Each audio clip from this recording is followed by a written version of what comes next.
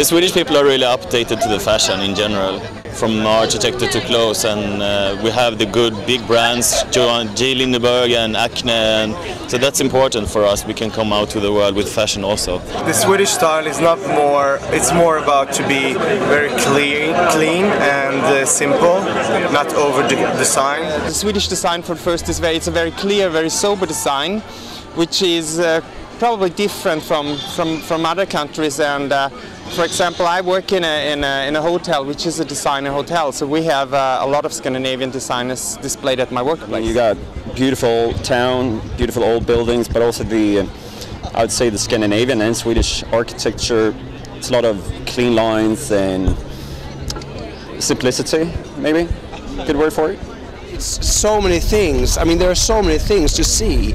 Just, just you know what? Just get here and, and you, you'll see. Come and meet us and, and see our fabulous city.